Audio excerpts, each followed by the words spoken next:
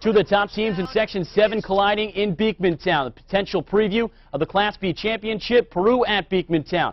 First time Indian touched the ball, it's Zane Bazzano, who takes the punt, breaks a tackle, darts across the field. From there, he goes 85 yards untouched to the end zone. This has the makings of a top five play of the week all over it. 6-0 Indians. Next possession for the Eagles, Justin Stevens takes the handoff, explodes through the line of scrimmage. He sees daylight 71 yards from the junior captain. Beekmantown led 76 after the first quarter into the half. It looked like an upset was coming in Eagle Country, but Peru's defense stepped up. Jordan Guai with one of his two interceptions on the day. The Indians outscored the Eagles 30 to 7 in the second half to remain unbeaten on the year.